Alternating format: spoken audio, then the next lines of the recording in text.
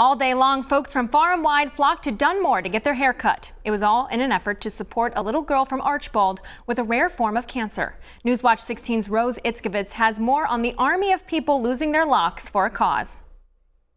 Beards, short hair, and even long hair. I don't mind it at all. It grows back. All coming down for a cause here in this Holiday Inn turned haircuttery in Dunmore. It's going to be a very a very hard battle for her for the next 15 months. Brandon and Jenna Evans's seven-year-old daughter Adelaide fighting a rare form of cancer. Alveolar rhabdomyosarcoma. Addie, as they call her, undergoing chemo treatment since October. And then we just got word that she's going to start her radiation in January. And that's where loved ones cut in.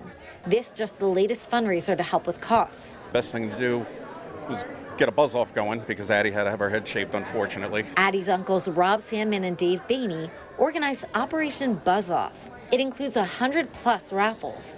And the community stepped up big time. Seeing Addie, she has no choice but to not have the hair, so why not, you know? Have you ever gotten your haircut like this before? Nothing like this, no. I figured I had to do my part and just come and get a haircut and a beard shave. And it'll be the first time in 10 years I haven't had a beard. The support is absolutely amazing that everybody came out for this today. Words can't even explain anymore.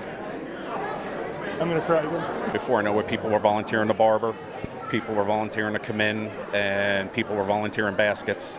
And it just kept going and going and going, and it's just amazing how it spiraled. Even the Holiday Inn itself donating this room. The outpouring of support by uh, complete strangers, really. The organizers also letting Addie cut their hair. We're definitely going to get her head shaved, but it's going to be up to Addie if we lose our beards too. What are your thoughts on it then? Do you guys want to go bald? Do you want to have no beard? Mixed, mixed emotions. Addie let them keep their beards. I told him if he gives me money, I'll let him keep the beard. But in the very end, the uncles and even Addie's dad did end up shaving them for one donation of $1,000. For upcoming events of Addie's Army, head to WNEP.com.